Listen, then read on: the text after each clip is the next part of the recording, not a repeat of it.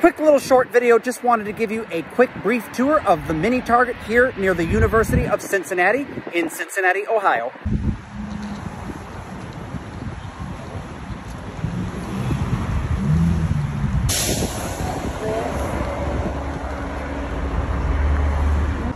So this is what the mini Target looks like on the outside. There is a parking garage way down there that you park at, and then you have to walk outside to get inside the Target.